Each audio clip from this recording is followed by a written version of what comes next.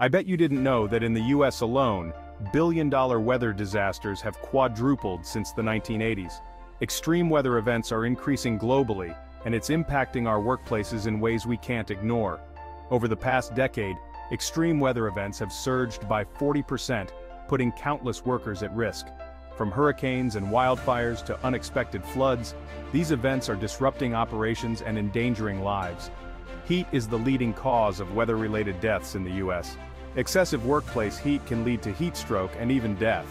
Every year, dozens of workers die and thousands more suffer illnesses related to hazardous heat exposure that are most often preventable.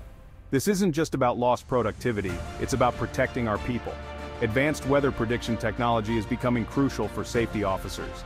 Imagine being able to anticipate a storm days before it hits, giving you time to implement safety protocols and secure your workforce. By integrating this technology, organizations can reduce incident rates by up to 30%. It's not just about responding to disasters, it's about preventing them. Take action now to safeguard your team and ensure a safer, more resilient workplace. Explore how advanced weather prediction can become your new safety standard. Your workforce depends on it.